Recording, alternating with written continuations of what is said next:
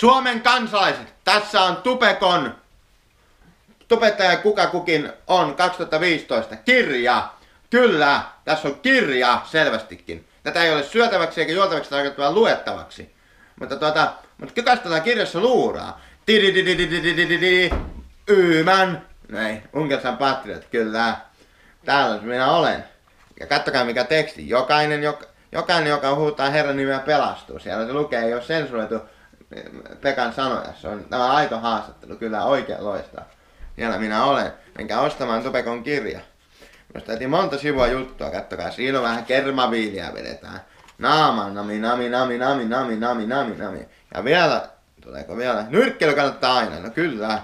No niin, siinä ne olikin minä tuota. Oli minusta tämmönen, minusta tästä oli kaksi aukeamaa. Ja hyvä määrä. Kyllä.